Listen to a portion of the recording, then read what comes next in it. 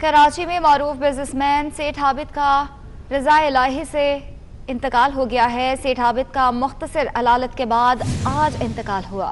नमाज़ जनाजा defence phase two Ayaz मस्जिद में नमाज़ असर के बाद अदा की जाएगी। आपको अपडेट कर रहे हैं, कराची में मरूफ बिजनेसमैन सेठ आबिद का रजा इलाही से इंतकाल हो गया है। सेठ आबिद का मुख्तर अलालत के बाद आज इंतकाल हुआ है।